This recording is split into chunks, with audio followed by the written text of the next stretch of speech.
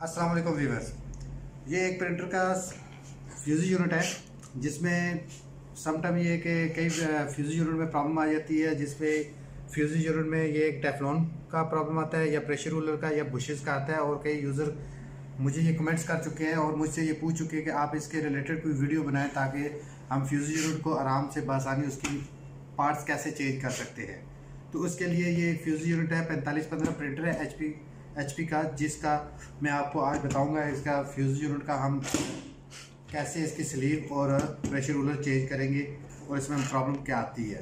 तो वीवर मैं इसको खोल, खोलता हूँ। इसमें सबसे पहले ये दो पेज ऊपर लगे होते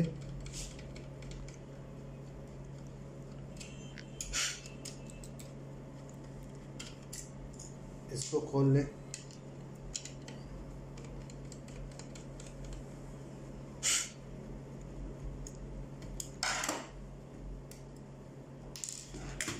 पे एक अर्थिंग का लगा होता है, इसको भी आप पहले से केबल को अलहदा कर लें।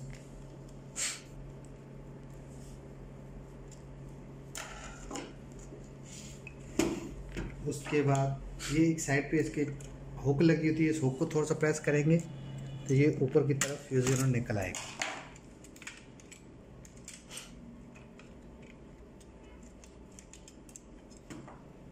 स्प्रिंग इसके साइड पे रख लें। ये इसका ऊपर कवर टॉप कवर निकाला आपने। उसके बाद ये साइड के इसके लिवर जो दो है, इनको भी निकाल लें। तो इस फ्यूज़ यूनिट का प्रॉब्लम मैं आपको बताता हूँ, इस फ्यूज़ यूनिट का।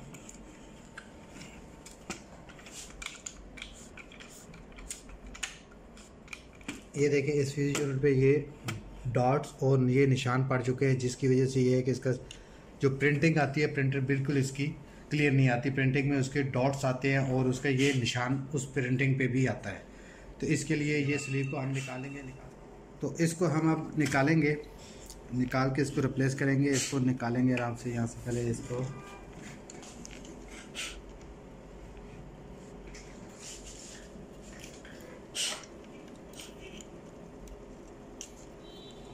इस साइड पे लॉक लगा था लॉक से इस गिराई को बाहर निकाल लें। बाहर निकालने के बाद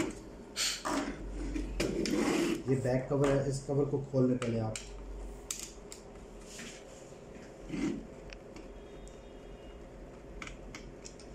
एक ये पेच लगा होता है, एक इस साइड पे स्क्रू लगाता है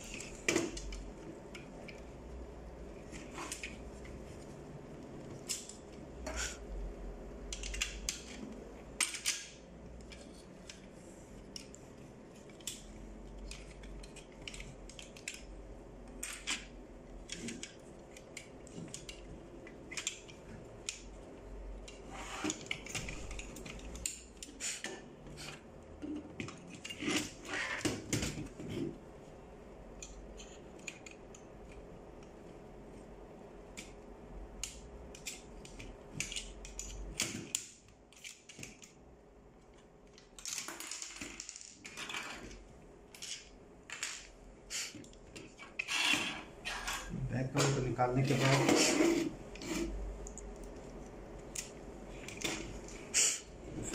ये केबल है, इसको आपने आज़ाद करना है।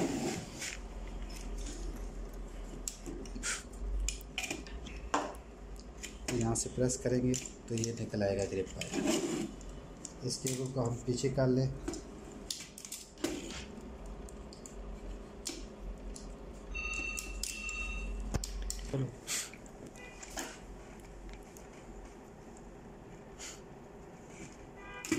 केबल को इसको रात कर लेंगे।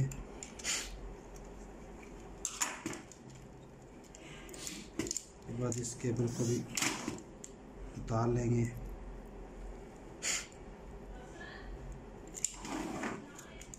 इन केबलों को हम निकालेंगे आराम से यहाँ से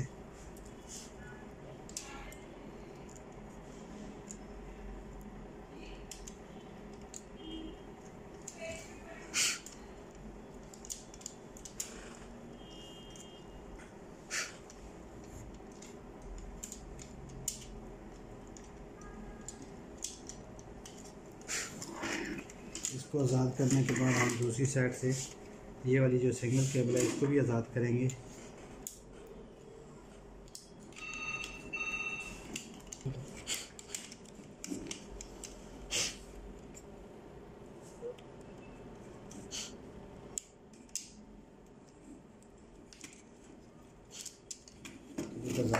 इसको हम ये बाहर निकाल लेंगे। इसका ये वाला जो इशू है, इस इशू की वजह से अब हम इसको रिप्लेस करेंगे। इसके नेवल बदल हमने दूसरा पार्ट्स मंगवा के रखा हुआ है। वो ये वाला है।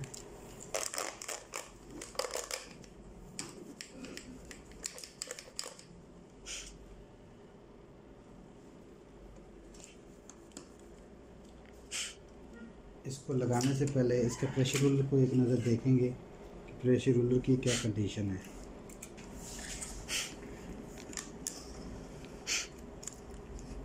ये करके इसको उतार लेंगे। उसके बाद इस स्लीव को हम आराम से इसके ऊपर से निकाल लेंगे।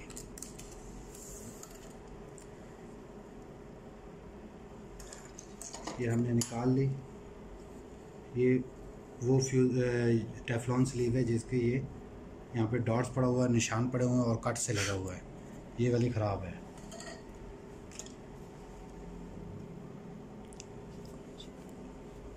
उसके बाद ये टेफलॉन स्लीव को हम लेंगे।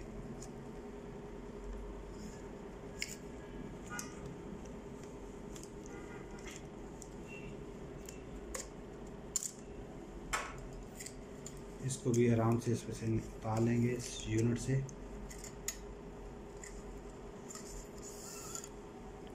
उतार के।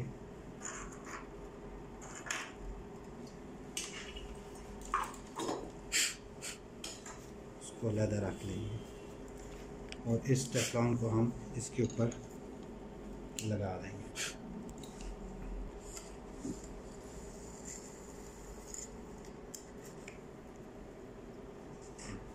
लगा के इसका फिर ये हम बंद कर देंगे।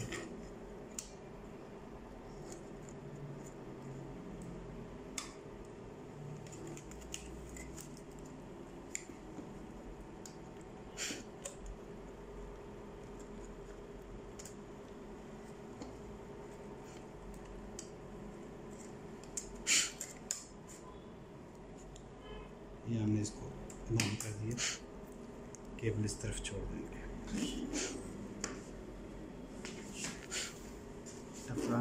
को थोड़ा सा ऊपर से हम साफ़ कर देंगे कि कोई गड वगैरह या मट्टी वट्टी लगी है। वो साफ़ हो जाए उसके बाद इसको हम एज इट इज़ यूनिट के ऊपर जिस तरह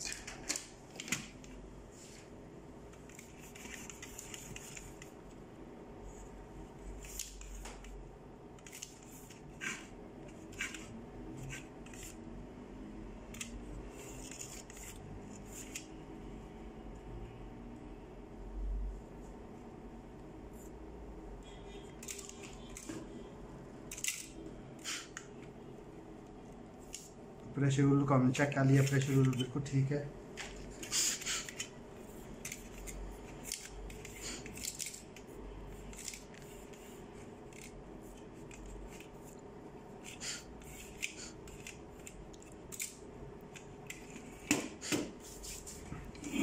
उसके बाद को लगाएँगे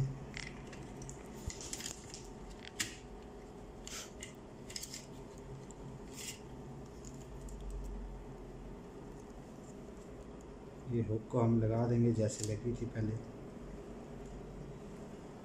इसको हम लगा के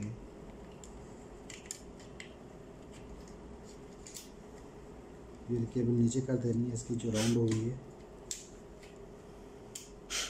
और इस केबल को हम उसी तरीके से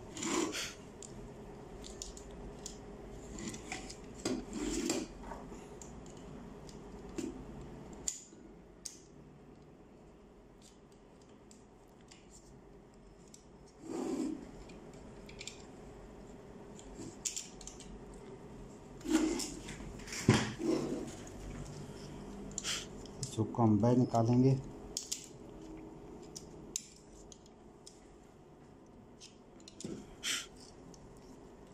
इसको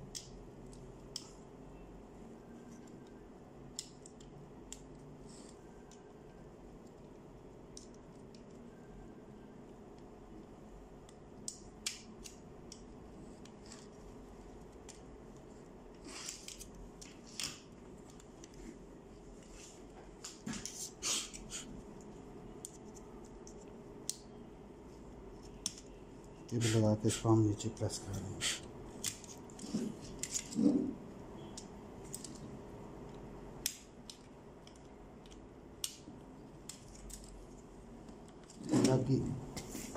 इसके बाद दूसरी साइड की वही केबल जो हमने उतारी थी इनको हम निकाल लेंगे पहले।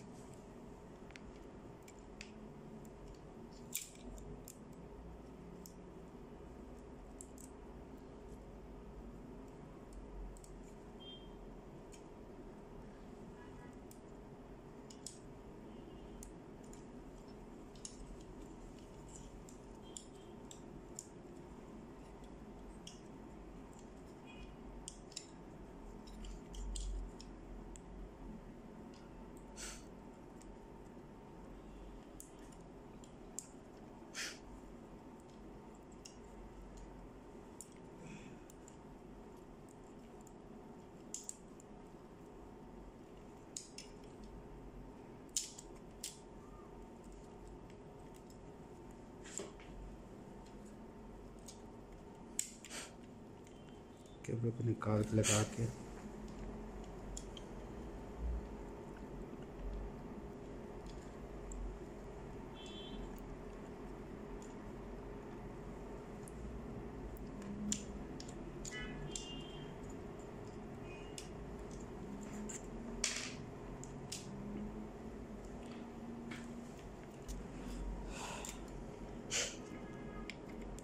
बाकी ग्राजुएट का हम वापस उसी तरीके से लगाएँगे जिस तरीके से उतारा था।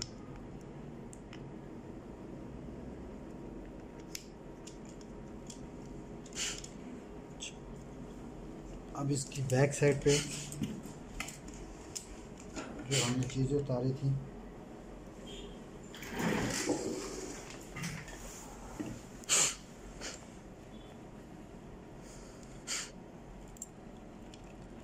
एक से उतारा था।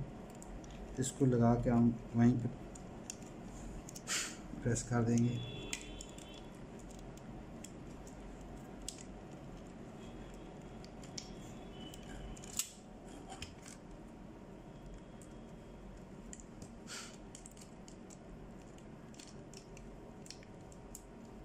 ये जी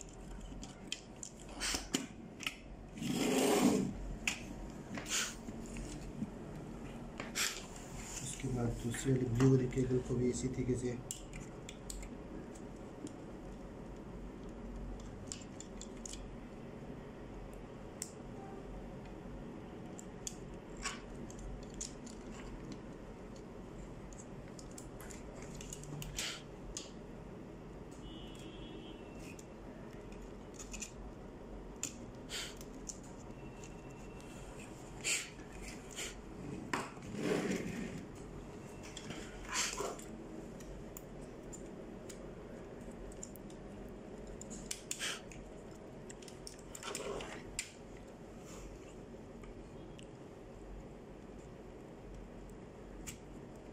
उसके बाद रह जाती है ये वाली केबल, इसको भी हम, ये फ्यूज यूनिट के तक लेके जानी है इस केबल को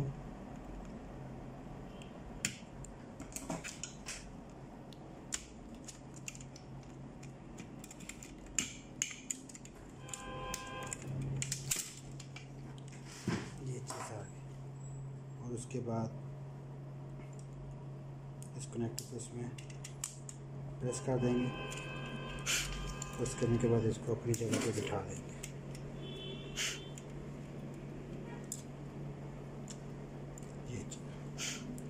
तो व्यूवर्स, ये स्लीव हमारी लग चुकी है।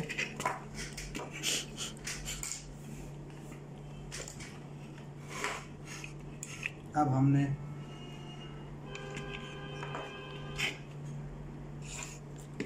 बैक वाला कवर लगाना है सबसे पहले।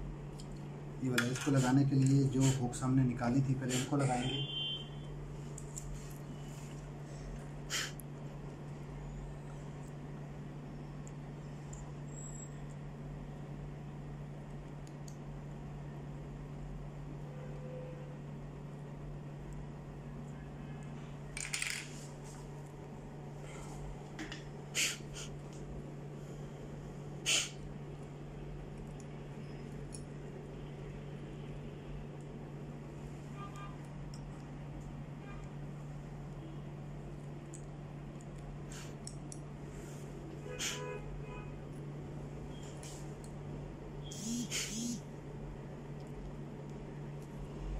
इस तरीके से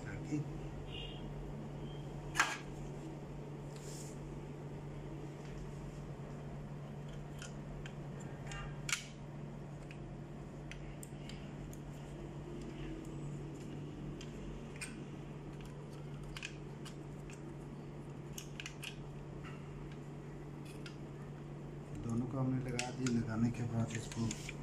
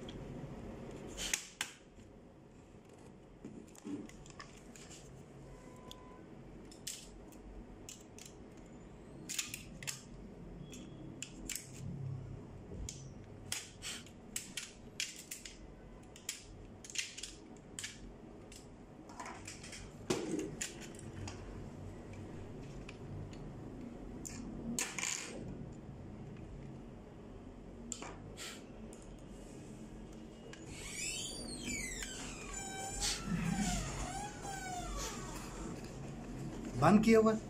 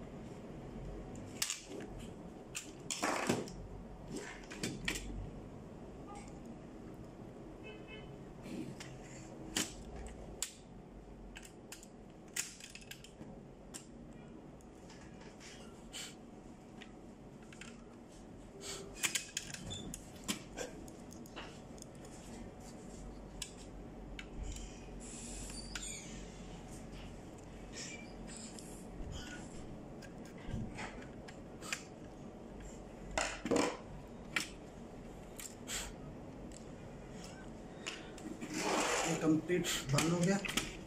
इसके बाद ये घेर हमने तारा था, उस घेर को लगा देंगे वापस।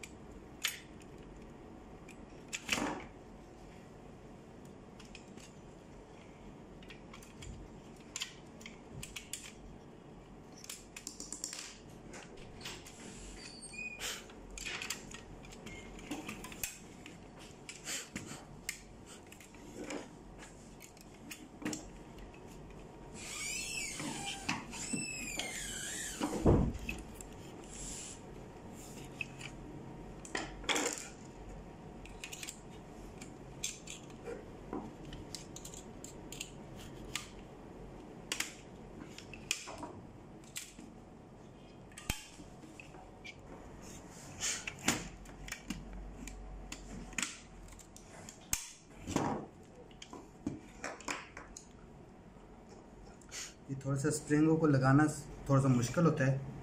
बड़ी एहतियात के साथ और इन स्प्रिंग को आपने लगाना है।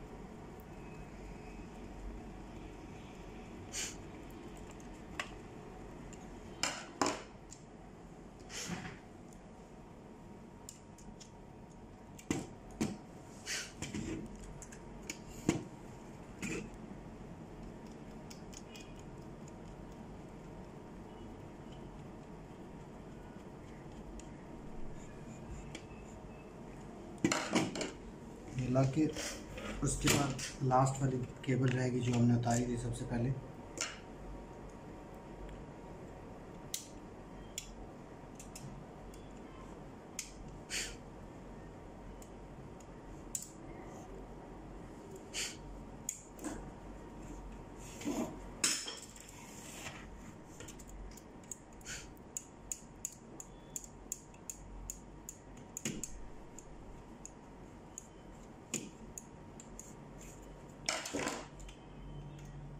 को लगा दिया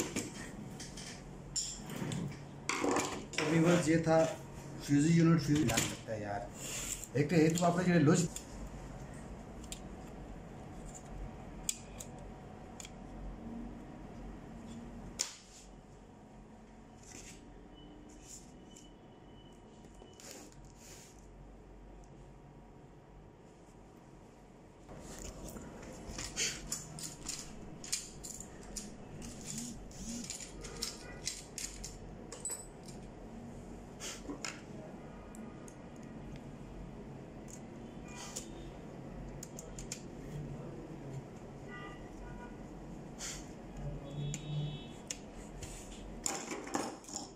तो वीवर ये था फ्यूज यूनिट पैंतालीस पंद्रह का। जिसकी स्लीप का इशू था स्लीप का इशू ये था कि ये स्लीप जो बिल्कुल डैमेज हुई थी एक जगह से। ये थोड़ा सा इसका काट के आपको निशान लग रहे सलवटें लगी हुई थी। जिस वजह से ये था कि इसका जो प्रिंट आप निकालते थे, वो प्रिंट बिल्कुल क्लियर नहीं आता था। तो इसी तरह से व्यूवर्स आप लोगों को जो जो इशू आ रहे हैं, आप मुझे कमेंट्स में करें कमेंट्स करें। और अपना इशू मेरे साथ डिस्कस करें ताकि मैं उसकी से रिलेटेड एक वीडियो आपके साथ वो वीडियो शेयर कर सकूँ। और मेरे चैनल को सब्सक्राइब करें और अपने दोस्तों को भी कहें कि मेरे चैनल को सब्सक्राइब कर दें। और इसी तरीके से नई वीडियो मैं आप लोगों के साथ शेयर करता रहूँगा। ओके व्यूवर्स खुदा हाफिज़।